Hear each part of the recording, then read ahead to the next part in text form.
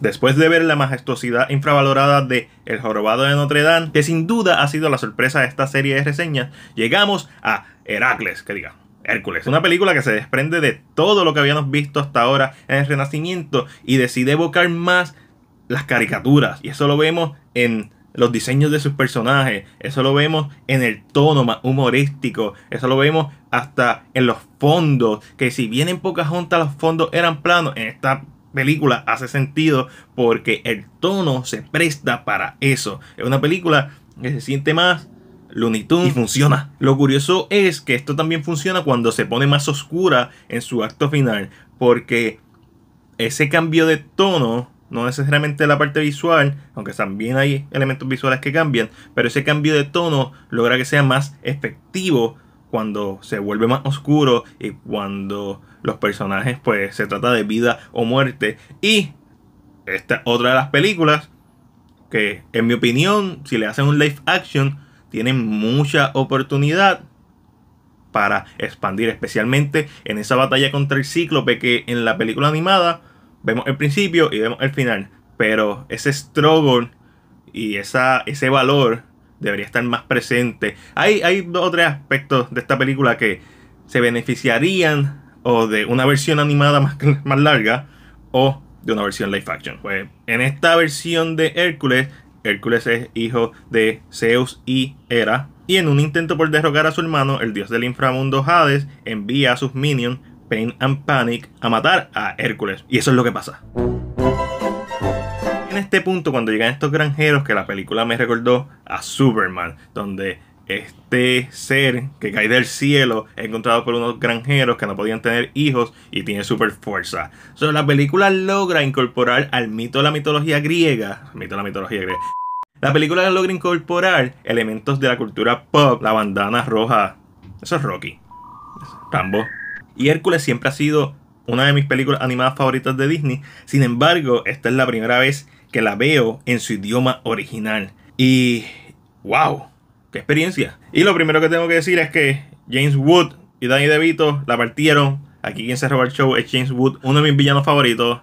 La animación, el diseño, cuando se molesta. Yo sé que el fuego azul es más caliente que el rojo, no me importa. Es efectivo, visualmente es efectivo y al final del día eso es lo que importa. Y Danny DeVito como Phil del sátiro es un casting perfecto. Mi favorito sigue siendo James Wood, pero Danny DeVito es innegable que la partió. Sin embargo, la voz de Hércules joven, Josh Keaton, no me mata. Y cuando cantan Go to Distance en inglés en la película, no me mata. Tengan en cuenta que yo llevo escuchando esta canción toda mi vida, cantada por Ricky Martin.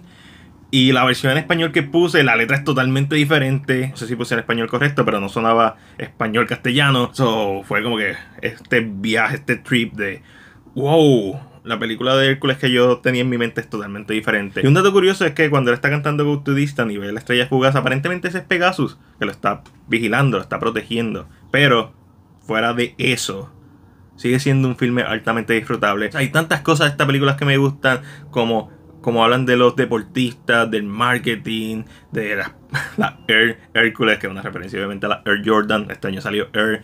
Y cómo los fanáticos se comportan. Y creo que hay oportunidad de expandir de eso. Me encantan las referencias a Edipo Rey.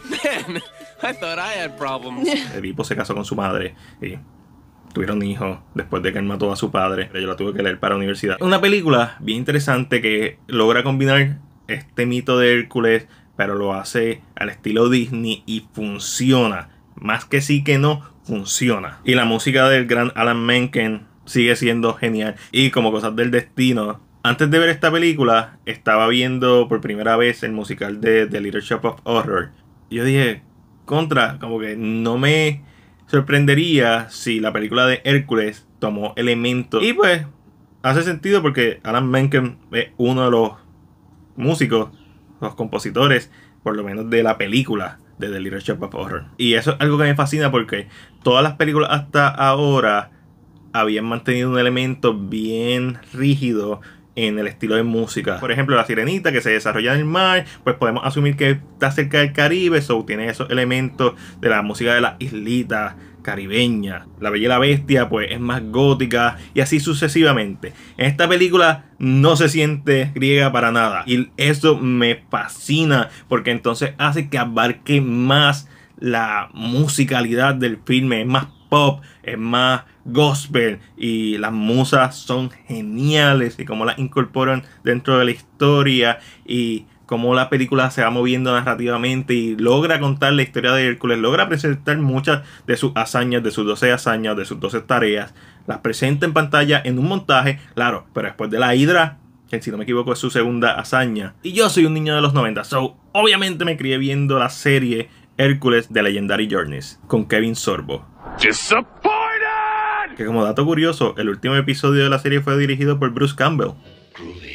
Y no me recuerdo haber visto John Hércules, pero Ryan Gosling es quien lo interpreta, así que quizás es nostalgia, quizás es la música que llevo escuchando toda mi vida, quizás es el contraste de lo animada que es, y me refiero a lo caricaturesca que es en comparación con todo lo demás del Renacimiento, pero amo que sea así, amo lo diferente que es, pero aunque tú no veas eso, te la vas a disfrutar porque los visuales son impresionantes, porque las secuencias son impresionantes, gran dirección. En la secuencia de la Hydra, que al final tiene 30 cabezas, obviamente esto es CGI.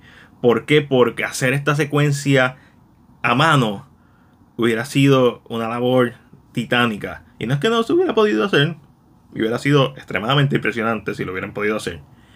Pero si tienes la herramienta, utilízala. Y hacer un solo frame de esta secuencia que dura 4 minutos se podía tardar entre 6 a 14 horas. Depende de cuántas cabezas hubieran en pantalla. El easter egg de Taka, Scar, 10 de 10. Referencia a The Karate Kid, el White Home Screen, una parte random cuando llega el cíclope. A diferencia de muchas películas que le hubiera restado tener este stock sound, esta película funciona porque es una caricatura. El acto final entero impresionante. La escena en el río de las almas. Como Hércules está dispuesto a sacrificarse. Y cuando las Moiras intenta cortar el hilo de vida. Wow. Y el brillo. Y después Hades, que tampoco muere porque es inmortal. los titanes. Que no sé qué hace el cíclope ahí. Nunca he entendido eso. Porque nunca ha sido un titán.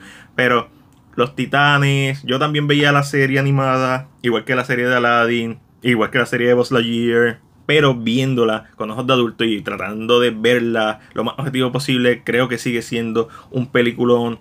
Me encanta su estilo, me encanta que sea diferente, me encanta su música, su animación. Es un filme bien fácil de ver y es por eso que entre lo bueno, lo malo y lo ok, yo le voy a dar a Hércules una B. Pero esa es solamente mi opinión. Ahora déjame saber la tuya en la sección de comentarios. Como siempre, si te gustó este video, dale like y compártelo. Recuerda suscribirte a nuestro canal de YouTube y darle a la campana de notificaciones para que no te pierdas nuestro contenido. Este fue Mac de CinePR y será hasta la próxima.